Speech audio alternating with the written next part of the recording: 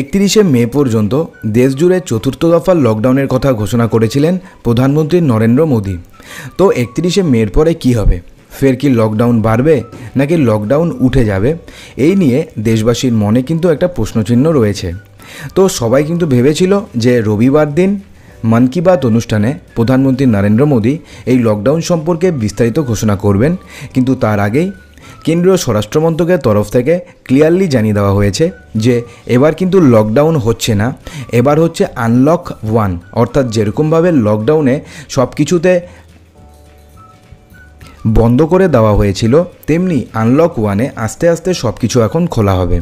কিন্তু দেশের বেশ কিছু জায়গাতে কিন্তু আগামী তিরিশে জুন পর্যন্ত জারি থাকবে লকডাউন। তো কোথায় কোথায় এখনও অবধি লকডাউন জারি থাকবে? এবং আনলক ওয়ানই বা কী? সেখানে কি কি বিষয়ে আপনারা ছাড় পাবেন, সেই সমস্ত কিছুই জানব আজকের এই ভিডিওতে। সেই জন্য ইম্পর্টেন্ট ভিডিওটিকে শেষ অবধি অবশ্যই দেখতে থাকুন। আর ভিডিওটি শুরুর পূর্বে অবশ্যই লাইক করবেন, প্রচুর শেয়ার করবেন, চ্যানেলটিকে সাবস্ক্রাইব অবশ্যই করবেন। বন্ধুরা, অন্তত হাজারটি লাইক করবেন, তার কারণ আপনারা লাইক না করলে কিন্তু আমরা পরবর্তী ভিডিও করার মোটিভেশন পাই না। তো বন্ধুরা, চলুন আর সময় নষ্ট না করে ভিডিওটি আমরা শুরু করি। তো শুধুমাত্র কন্টেনমেন্ট জোনে জারি থাকবে লকডাউন আগামী তিরিশে জুন পর্যন্ত। এতদিন পর্যন্ত কিন্তু সাত দিন, চোদ্দ দিন কিংবা পনেরো দিন পর্যন্ত লকডাউন জারি করা হয়েছিল। কিন্তু এবার কিন্তু প্রথমবার একেবারে তিরিশে জুন পর্যন্ত লকডাউনের কথা ঘোষণা করা হয়েছে।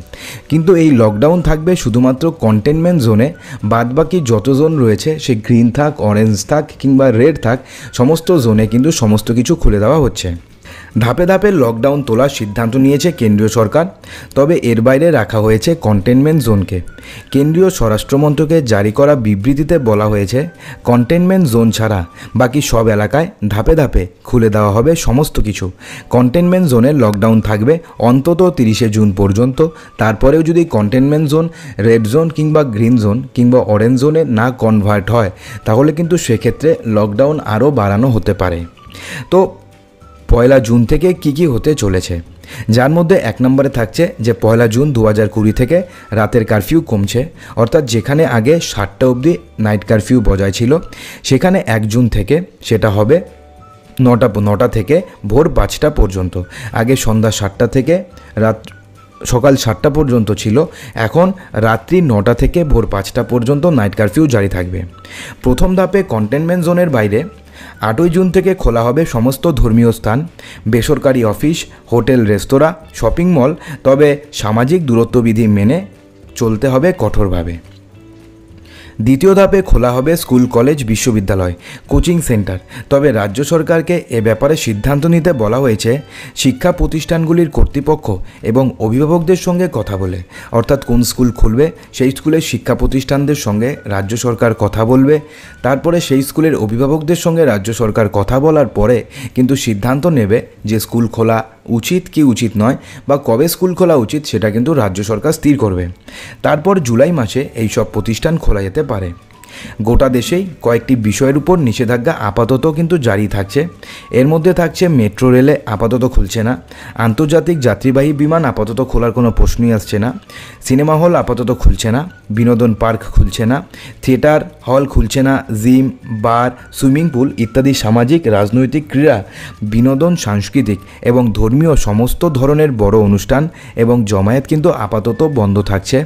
এই নিয়ে এটা কবে চালু হবে বা সিনেমা হল কবে থেকে চালু হবে বা আন্তর্জাতিক যাত্রীবাহী বিমানই বা কবে থেকে চালু হবে বা মেট্রো রেল কবে থেকে চালু হবে, এ ব্যাপারে কিন্তু বিস্তারিত কিছু জানানো হয়নি। তৃতীয় দফায় গিয়ে এগুলি খোলার দিন কিন্তু ঘোষণা করা হবে, তবে পরিস্থিতি বিবেচনা করে। আর আগামী তিরিশে জুন পর্যন্ত কন্টেনমেন্ট জোনে কিন্তু সমস্ত ধরনের অ্যাক্টিভিটি বন্ধ করে দেওয়া হয়েছে। শুধুমাত্র কন্টেনমেন্ট জোনে কিন্তু স্ট্রিক্ট পেরিমিটার কিন্তু অ্যালাউ করা হবে, অর্থাৎ সমস্ত কিছু কিন্তু স্ট্রিক্টলিভাবে মেনটেন করা হবে। কোনো ধরনের মুভমেন্ট কিন্তু বরদাস্ত করা হবে না। Except for medical emergencies and for maintaining supply of essential goods and services অর্থাৎ শুধুমাত্র মেডিকেলের যে কোনো কাজের জন্য, এবং এসেন্সিয়াল গুডস অর্থাৎ ওষুধের দোকান, সবজির দোকান কিংবা গালামাল দোকান এই সমস্ত কিছুর জন্য কিন্তু সামান্য কিছু মুভমেন্ট বরদাস্ত করা হবে। এছাড়া কিন্তু কোনো ধরনের মুভমেন্ট বরদাস্ত করা হবে না। এছাড়া কন্টেনমেন্ট জোনে কিন্তু ইন্টেন্সিভ কন্ট্যাক্ট ট্রেসিং থাকবে। অর্থাৎ কেউ যদি ওখান থেকে অন্য জায়গায় যায় কিংবা এই বাড়ির থেকে ওই বাড়ি যায়, তাহলে কিন্তু তার বিরুদ্ধে অ্যাকশন নেওয়া হবে। এছাড়া হাউস টু হাউস সার্ভেইলেন্স করা হবে। অর্থাৎ প্রতিটি বাড়িতে গিয়ে কিন্তু দেখা হবে যে তারা সমস্ত কিছু নিয়ম মেনেছে কি মানেনি। এছাড়া আদার ক্লিনিক্যাল ইন্টারভেনশন করা হবে অ্যাজ রিকোয়ার্ড অর্থাৎ যেমনটা প্রয়োজন হবে। Guidelines of MOH F W shall be taken into consideration for the above purpose আর কোন এলাকাটি কন্টেনমেন্ট জোন হবে বা কোন এলাকাটি কন্টেনমেন্ট জোন হবে না, সেই সমস্ত কিছু কিন্তু এবার ঠিক করবে স্টেটস অথবা ইউনিয়ন টেরিটরি অর্থাৎ পশ্চিমবঙ্গে কোন কোন রাজ্যকে বা কোন কোন জেলাকে বা কোন কোন স্পেসিফিক জায়গাকে কন্টেনমেন্ট জোন করা হবে, সেটা কিন্তু ঠিক করবে একমাত্র পশ্চিমবঙ্গ সরকার। এবার দিল্লিতে যদি এরকম কিছু হয়, সেটাও কিন্তু ঠিক করবে দিল্লি সরকার।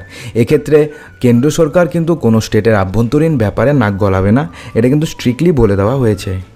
এছাড়া কিন্তু বলে দেওয়া হয়েছে যে এখন থেকে ইন্টার স্টেট অথবা ইন্ট্রা স্টেট অথবা স্টেটের বাইরে এবং স্টেটের বাইরে কোনো রকম মুভমেন্টে আর কোনো রকমের প্রবলেম নেই। আপনারা যে কোনো জায়গায় যেতে পারেন। তার জন্য আপনাকে কোনো ধরনের সেপারেট পারমিশন নেওয়ার দরকার নেই অথবা ই পারমিট নেওয়ার দরকার নেই অথবা কোনো ধরনের অ্যাপ্রুভাল নেওয়ার দরকার নেই।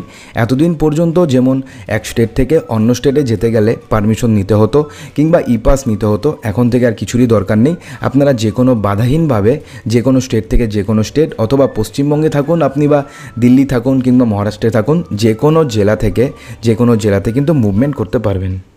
আরও একটা ব্যাপার কিন্তু স্ট্রিক্টলি বলে দেওয়া হয়েছে যে যেসব মানুষের বয়স পঁয়ষট্টি বছরের ওপরে অথবা যারা কো মরবিডিটি দিয়ে ভুগছে অথবা প্রেগনেন্ট ওমেন অথবা শিশুরা যাদের বয়স দশ বছরের কম, তাদের কিন্তু অ্যাডভাইসড করা হয়েছে যে তারা যেন বাড়িতেই থাকে।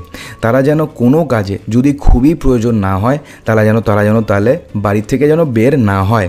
শুধুমাত্র এসেন্সিয়াল পারপাস এবং হেলথ পারপাসেই যেন তারা বাড়ি থেকে বের হয়। অন্যান্য কোনো কাজে, যেমন বাজার করতে কিংবা কোনো জিনিস আনতে, যেন তারা বাড়ি থেকে বের না হয়। এটা কিন্তু স্ট্রিক্টলি মেনে চলতে বলা হয়েছে। এছাড়া সবাইকে আরোগ্য সেতু অ্যাপ ডাউনলোড করতে বলা হয়েছে। যদি আপনি ট্রেনে প্যাসেঞ্জার ট্রেনে যদি যাতায়াত করেন, কিংবা যদি আপনি ফ্লাইটে যাতায়াত করেন, কিংবা যদি আপনি বাসে যাতায়াত করেন, তাহলে কিন্তু আপনাকে বাধ্যতামূলকভাবে আপনার মোবাইলে আরোগ্য সেতু অ্যাপ কিন্তু ডাউনলোড করতেই হবে। এবং যদি আপনি এই সমস্ত কিছু না মানেন, যদি আপনি যে সমস্ত অর্ডার দেওয়া হয়েছে মিনিস্ট্রি অফ হোম অ্যাফেয়ার্সের পক্ষ থেকে, অর্থাৎ কেন্দ্রীয় স্বরাষ্ট্রমন্ত্রকের পক্ষ থেকে, যদি আপনি সেগুলিকে না মানেন, তাহলে কিন্তু আপনার বিরুদ্ধে ডিজাস্টার ম্যানেজমেন্ট অ্যাক্ট দু হাজার পাঁচের সেকশন ফিফটি ওয়ান এবং সেকশন সেকশন সিক্সটি অনুযায়ী কিন্তু আপনার বিরুদ্ধে আইন অনুরাগ ব্যবস্থা কিন্তু নেওয়া হবে। তো বন্ধুরা, আশা করি আপনাদের সমস্ত কিছু সঠিকভাবে, ভালোভাবে বোঝাতে পেরেছি। এরপরেও যদি আপনাদের মনে কোনো প্রশ্ন থাকে, অবশ্যই ভিডিওর কমেন্ট বক্সে জানাবেন। আমরা এরপরের ভিডিও বানিয়ে আপনাদের সমস্ত প্রশ্নের উত্তর দেওয়ার চেষ্টা করব। না হলে পরে আপনাদের কমেন্টে আমরা যতটা পারব উত্তর দেওয়ার চেষ্টা করব। তো বন্ধুরা, আশা করি ভিডিওটি ভালো লেগেছে। যদি ভালো লাগে লাইক করবেন, প্রচুর শেয়ার করবেন। চ্যানেলটিকে সাবস্ক্রাইব অবশ্যই করবেন।